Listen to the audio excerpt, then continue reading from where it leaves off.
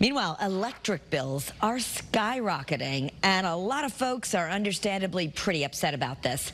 This afternoon, we have some answers from Eversource and state lawmakers. We have team coverage now, starting with Channel 3's Susan Raff, and Susan is here to give us the latest. I know a lot of sticker shock when people are opening their bills. There are. and We're not talking just a few dollars. We're talking about, in some cases, more than $100. So it is a big deal, and people need to know what's going on out there. So there's no question that people are upset. The question is what can be done about it. Now, Republican lawmakers are calling for a special session. They want to use some of the state's surplus to give ratepayers some relief. In the meantime, lots of questions are being raised as to why our electric bills are so high.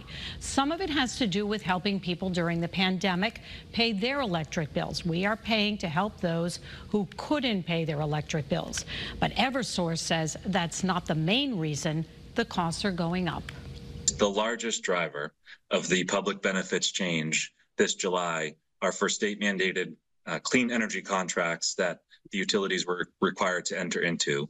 And in some years, those have produced a significant benefit for customers that customers saw as a reduction to their bill. But in other years, there there comes a cost.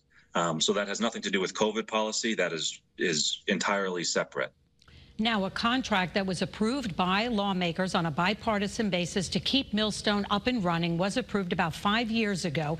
About 80% of the increase comes from those clean energy contracts. Now, lawmakers, lawmakers argue that some of those costs could have been phased out last year or phased in last year, but they say state regulators delayed paying for that contract, and now everything is coming up at once. Now, tonight at 5, could there be a special session, and could there some relief. Live in the studio, Susan Raff, Channel 3 Eyewitness News. I'm Chief